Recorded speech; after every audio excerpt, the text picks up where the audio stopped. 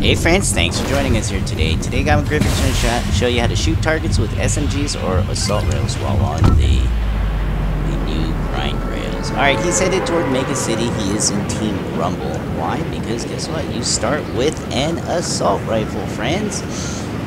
He's already marked the location, the best location to complete this quest because there may be a guardrail there. There's a grind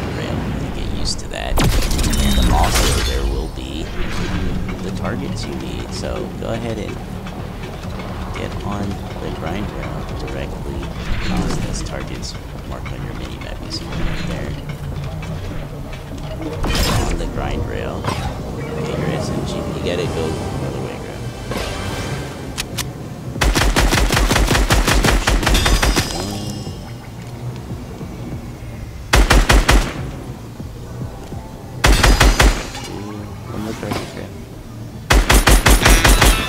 So that's how you shoot targets with SMGs or usually assault make it rifles to a while third on conversation with us. grind rail. Great Alright, good job, Goblin Griff. Let's move on to the Things next can get spicy when you're running with a peace These grind syndicate. rails are really fun. You've got what it takes to stay Remember, he is in. Team Rumble. Like your signature Ultra Hot 15 Spicy aioli? Oh, there's somebody there. Exactly. The Oh, secret there's someone ingredients there. are fireflies and rage.